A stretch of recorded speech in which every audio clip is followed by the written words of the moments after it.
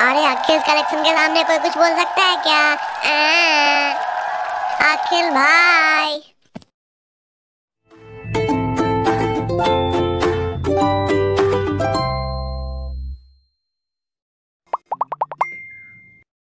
तो स्वागत है आपका अखिल्स कलेक्शन में। अगर आपके पास 9 वोल्ट की बैटरी है और उसका कैप आपने गुम कर लिया है तो ये वीडियो आपके लिए है।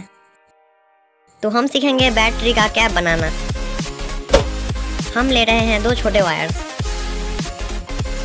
अब हम लेंगे एलुमिनियम फॉयल अगर आपके पास एलुमिनियम फॉयल नहीं है तो आप टैबलेट्स के रैपर्स का भी यूज़ कर सकते हैं, क्योंकि ये भी एलुमिनियम होते हैं। और पता है aluminium good conductor of electricity होते हैं।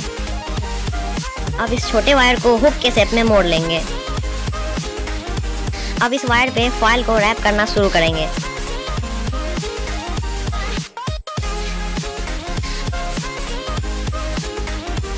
अब ऐसा ही हमें दूसरे वायर के साथ भी करना है। देखिए, है ना ये आसान?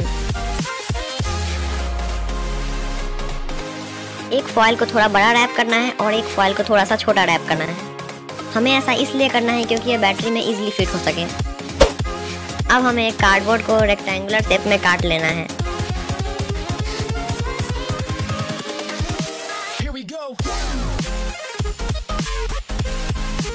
अब इन वायर्स को ग्लू की मदद से कार्डबोर्ड के ऊपर चिपका लेंगे।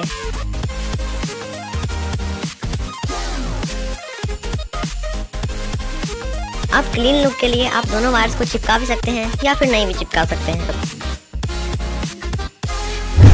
तो ये देखिए, अब हमारा बैटरी कैप रेडी हो चुका है। अब ये देखिए, एल्युमिनियम फॉयल इजीली इसमें फिट हो रहा है।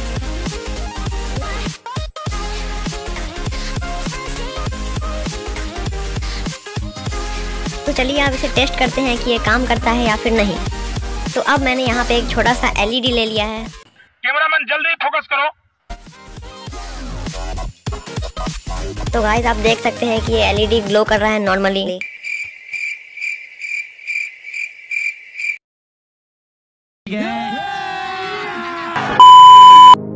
तो अब आप देख सकते हैं कि ये सच में ग्लो कर रहा है।